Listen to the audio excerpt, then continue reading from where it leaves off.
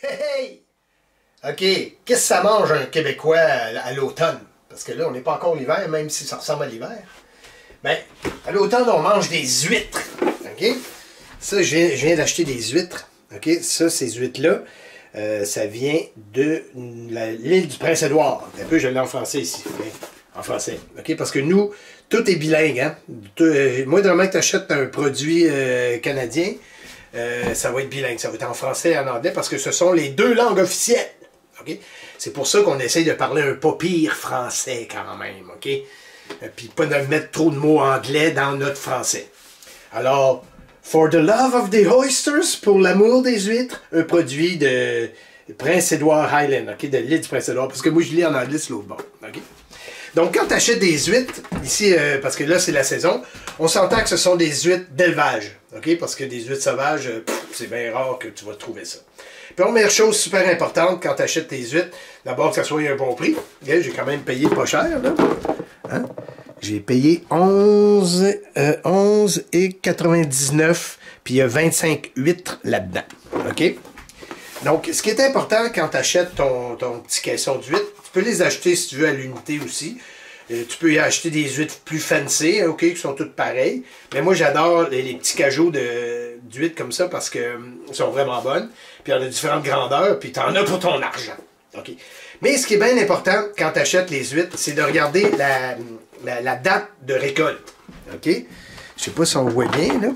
Donc ici, la date de récolte est novembre 20 2023.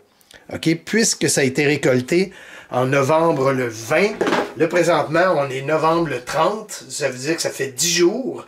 Quand même, ça vient de l'île du Prince-Édouard. C'est quand même un petit bout, c'est voyager en camion. Eh bien, c'est quand même bon. Parce qu'il faut que ça soit à l'intérieur d'un mois. Donc, quand tu achètes ta petite boîte d'huîtres, tu regardes la date de récolte. Et puis, il ne faut pas que ça fasse plus que 30 jours, puis même idéalement, pas plus que 20 jours. OK? Donc, je vais te montrer comment on ouvre les huîtres de l'île du Prince-Édouard. Donc, euh, j'ouvre ma petite boîte. Hein? Comme ça, ici. J'en ai déjà mangé quelques-unes ce matin. Euh, C'était après-midi, pardon. Donc, tu vois, il y a plein d'huîtres là-dedans. Il y en a 25. Là, il m'en reste plus bien, bien. Donc, je vais en sortir quelques-unes, ici. les huîtres. Ah, les belles huîtres! Ça, c'est des huîtres d'élevage, comme je t'ai déjà dit. OK? Donc, moi, ma technique que j'utilise, j'ai une planche, euh, une planche ici, et il y a un petit creux. Et puis, le, jus tombe dans mon assiette. OK? Ça prend un couteau, un couteau à huître, un couteau d'huître, hein? comme ça ici. Donc, l'idée, là, c'est pas forcément malade, OK? Moi, je, m'en vais doucement, je sens, oh, quand ça tient, quand ça tient, j'ouvre. OK, c'est facile. Tu passes le, couteau à l'intérieur pour enlever le petit nerf.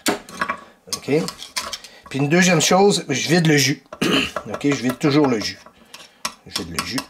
OK? Puis là, ben, tu bouffes ça, tu bouffes ça. Donc, l'huître, on mange ça cru, c'est bien rare qu'on fait cuire ça, OK? J'en ai déjà fait des euh, euh panés, c'est pas mal bon. Hum. Hum. C'était petite, celle-là. On va en faire une plus grosse, OK. OK, on va en choisir une grosse, là. Et ça, c'est gros. Donc, tu vois, ça... Alors, lui, de la façon que c'est fait, il y a une coquille comme ça. Hein? Donc, il y a... Euh, ça, c'est le dessous. Puis ça, c'est le dessus. OK? C'est important de savoir ça. Parce que toi, tu veux rentrer ton couteau dans le petit interstice ici qui est... Oh, il n'est pas évident, lui. Lui, il n'est pas évident. OK, là, je suis rentré dedans. Alors, je prête, je, force de côté comme ça, OK? Comme ça. Ou comme ça, ça dépend. Il y en a qui sont plus durs à ouvrir, on sait, dans tout là, ce qui est important, c'est d'aller couper le petit nerf ici. Vous voyez le petit nerf? J'ai coupé le petit nerf, OK? Il en reste un petit bout. Là, je mange. Comme ça. Deuxième opération. On coupe le petit nerf encore. OK? On vide le jus. On vide le jus. tu, la vois à l'huître, là. Hein? C'est super beau. Mais en principe, tu la laisses dans son petit truc. Miam, miam, miam. Donc, c'est une dose de sel, finalement. Hein? Hum, hum, hum, hum. hum. En fait, l'huître est vivante, OK? Je viens juste de l'assassiner, là. Donc, semi-vivante quand je la mets dans ma bouche. Et là, je la croque. Hum. Hum. C'est bon. une bonne dose de sel, une bonne sodium de la mer de l'île du Prince-Édouard. Donc, si tu n'as jamais mangé d'huître, ben, sois pas gêné. Il y en a qui disent c'est dégueulasse, c'est dégueulasse, oui. Ben, si tu veux pas assassiner quelqu'un, si tu veux pas assassiner une bestiole, c'est comme un peu le homard, hein. Parce que là, elle est vivante, là. Alors, j'en ouvre un autre. Donc, ici, on a mon huître. J'ai mon couteau à huître. Il y en a qui ont toutes sortes de patentes, là, qui utilisent euh, une espèce de petite boîte ou un gant. Tu là, là je suis rentré dedans. Donc là, je suis rentré dedans. OK? Je force pas en malade, là. Surtout, je pousse pas de main parce que tu peux te blesser, hein. Tu, veux pas, tu veux pas t'arracher la main. OK? Donc, tu vois, je vais soulever lentement et voilà, l'huître vient d'ouvrir. OK? Donc, je coupe le petit nerf, comme ça ici. Et voilà. Yes, c'est beau, hein? Si jamais je trouve une perle, ben, je vais venir riche. Mais dans les huîtres d'élevage, c'est presque impossible de trouver une perle. OK? Et on a l'huître ici, la bouche. Hum, hum, bon. Il y a des gens qui aiment manger les huîtres avec ce qu'on appelle une mignonnette. OK, ils mettent toutes sortes d'épices là-dessus, du citron, des patates. Moi, c'est comme le homard. Moi, je mange ça juste de l'huître. OK? Ça, ici, euh, dans la tradition, euh, ça fait longtemps que je n'ai pas été là-dedans, mais on fait des parties d'huîtres, OK? Parce qu'on ouvre des huîtres, puis on, boit de la bière, puis on ouvre des huîtres, puis il y a toujours un qui s'arrache la main avec ça. on ouvre un autre.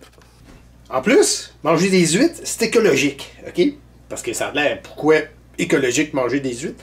Parce que les huîtres, en fait, toutes les, euh, les bestioles à coquilles, un peu comme les, aussi les, les euh, récifs de.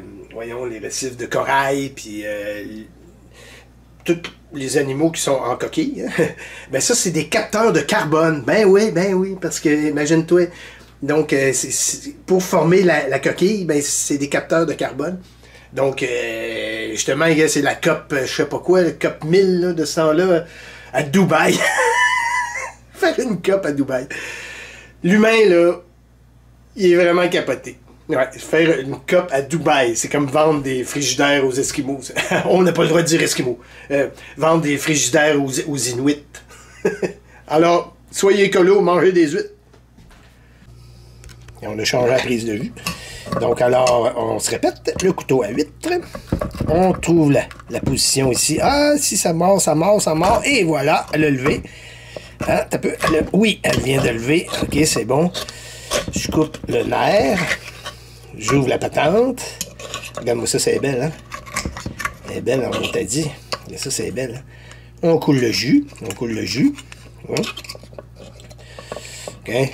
Une huître. Hein? Huître. Alors, c'était Qu'est-ce que ça mange un Québécois à l'automne? Ben, ça mange des huîtres, Torbine. Mmh, bon. Donc, quand j'ai fini de manger mes huîtres, Hein? J'ai tout mis ça dans mon compost. Eh bien, moi, ce que je fais, c'est que je les pitch dans le champ. J'ai de la place ici. Je pitch ça là, moi. OK? Ça. Donc là, ça fait plus de 30 ans que je mange des huîtres, euh, je mange des moules, je mange des clames, toutes sortes de trucs euh, à coquilles. Là, je ris un peu dans ma barbe parce que je me dis... les archéologues, là, dans 10-12 000 ans, ils vont arriver ici, il n'y aura plus de maison, il n'y aura plus rien. ça, va être, ça va être repoussé. Là, ils vont creuser. Là, ils vont trouver des coquilles. Ils vont dire Hey, ici, avant, il y avait la mer. Dans les années 2000, il y avait l'océan recouvrait cet endroit. Ils vont être dans le champ ben tête. C'est un zef comme moi qui a mangé des, des huîtres.